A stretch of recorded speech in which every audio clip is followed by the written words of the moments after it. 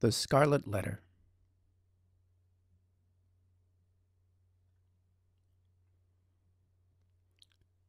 Nathaniel Hawthorne's great American novel of Puritan New England.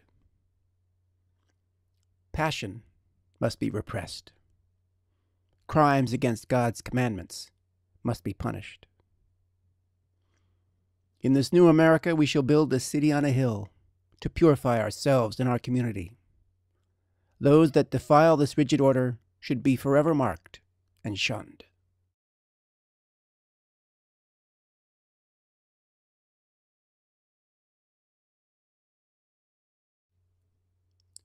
Only the elect enter into heaven. The rest are doomed to spend eternity beneath the earth.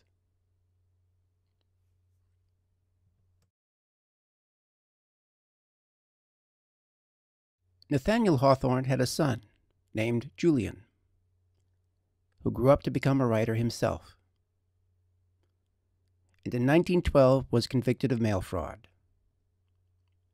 He entered the Atlanta Federal Penitentiary at the age of 66. What kind of parents raise a white collar criminal? By most accounts, Nathaniel Hawthorne was a loving husband and father. His marriage to Sophia Peabody was happy to the point of embarrassment.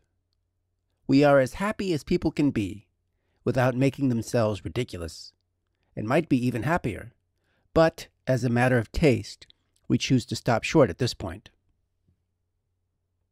He rejected the austere Puritanism of his ancestors. A great great grandfather, John Hathorne, had been a judge in the Salem witch trials. To distance himself from such a legacy, Nathaniel began adding a W to his last name, spelling Hawthorne not with a scarlet letter, but a specious one. He cherished his wife's paintings and considered her his best company. She is the most sensible woman I ever knew in my life, much superior to me in general talent and of fine cultivation. Together they had three children daughters Una and Rose, and son Julian. Hawthorne wrote affectionately of time spent alone with Julian while his wife and daughters were away, in diaries later published as Twenty Days with Julian and Little Bunny by Papa. July 28, 1851. At seven o'clock, wife, Una, and Rosebud took their departure, leaving Julian and me in possession of the red shanty. The first observation which the old gentleman made thereupon was, Papa, isn't it nice to have baby gone? His perfect confidence in my sympathy in this feeling was very queer. Why is it nice? I inquired. Because now I can shout and squeal just as loud as I please. July 29th. Afterwards, he betook himself to playing bat and ball with huge racket and uproar about the room felicitating himself continually on the license of making what noise he pleased in the absence of baby. He enjoys this freedom so greatly that I do not mean to restrain him, whatever noise he makes. He is never out of temper or out of spirits, and is certainly as happy as the day is long. He is happy enough by himself, and when I sympathize or partake in his play, it is almost too much, and he nearly explodes with laughter and delight. August 10th, Sunday. Let me say outright, for once, that he is a sweet and lovely little boy, and worthy of all the love that I am capable of giving him. Thank God. God bless him. God bless Phoebe for giving him to me. God bless her as the best wife and mother in the world. God bless Una, whom I long to see again. God bless little Rosebud. God bless me for Phoebe's and all their sakes. No other man has so good a wife. Nobody has better children. Would I were worthier of her and them. Julian Hawthorne's career as a writer never reached the stature of his famous father, but he wrote prolifically novels, histories, textbooks. He's most remembered today as an anthologist of detective stories. He never changed the spelling of his last name or shunned his father's legacy. He helped edit his father's complete works and wrote two biographies. Rose Hawthorne also grew up to write her own account of her parents and a book of poetry. But after the deaths of her husband, only child, and close friend Emma Lazarus, she became a nun, having converted to Catholicism before. She studied nursing and founded the Dominican Sisters of Hawthorne, devoted to caring for terminally ill and impoverished cancer patients. In 1909, Julian Hawthorne lent his famous last name and his own literary prowess to selling shares in a mining company. I send you with my compliments this little story of the secret of Solomon. Not only was he the wisest, he was also the richest man in the world. Where did he get it? Did he make it in the Wall Street of Jerusalem? No. In those days there were no stocks or stock markets. For a like reason, he was president of no banking or insurance companies. Neither did he corner wheat or exploit a steel or any other trust. Where, then, did he get it? All historians agree that Solomon got his gold from the mines of Ophir. His wealth was clean, virgin gold out of the ground. He was wise enough to get it in that way, and too wise to try to get it in any other way. That was the secret of Solomon. He was a gambler. I will say more. Every man whose acts have advanced civilization, created new eras in history, conferred signal benefits on mankind, all men of that stamp have been such gamblers as was Solomon.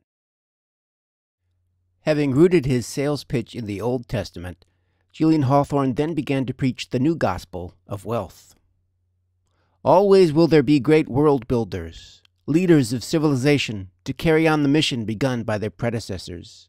Invention, discovery, commerce, industry are immortal. But like any good salesman, he anticipated skepticism now arises a pink faced gentleman in a plump white waistcoat. He says, But most people are only fairly well off. Why is it not wiser for them to stay on the safe side, retain what they have, rather than risk losing it by grasping after what they may never get?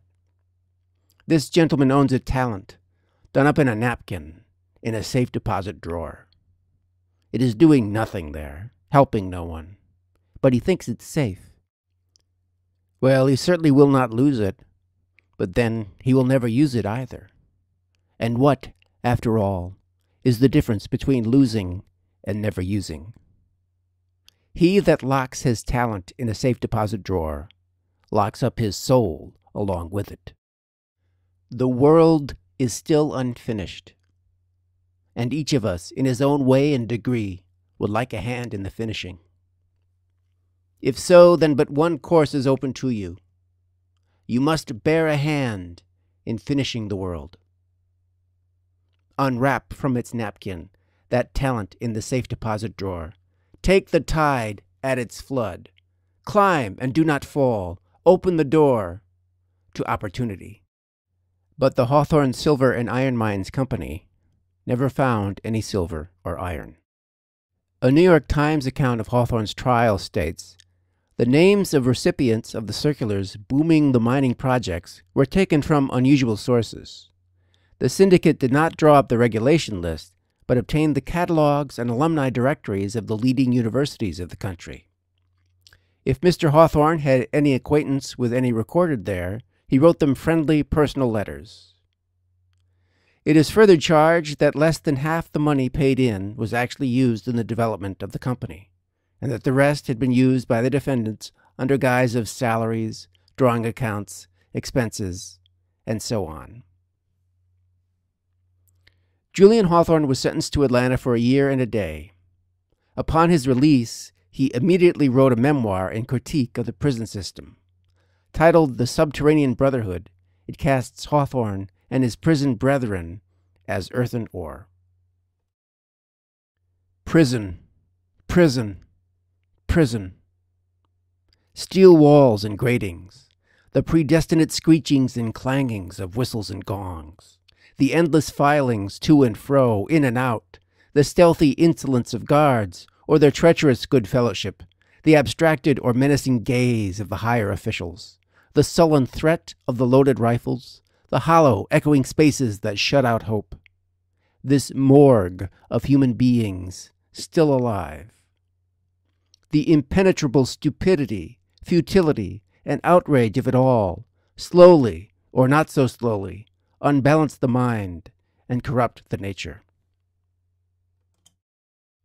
Having once praised the elect, immortal world builders, he now found fidelity in the anonymous and the forgotten, those damned to live beneath the earth.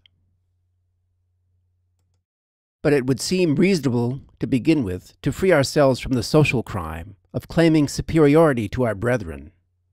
Perhaps, however, nothing else was ever so difficult as to turn from our flesh pots, our dinners and tangos, our summer resorts and winter resorts, our business and idleness, and undertake to substitute for prisons our personal care and help for criminals, to remove the causes which led them to crime, to convince them of our good faith and goodwill, and to disabuse them of their suspicion that we distrust them, condescend to them, and despise them. It's no longer the world that we must finish, but ourselves. So, how are we to raise our children? With strict discipline or unconditional love? Do we risk crushing their souls or spoiling them to the point of corruption? Damned if I know. But if you do tell them stories, don't tell them too well lest they grow up to write tales of their own, and pass them off as true, in letters marked with a scarlet stamp.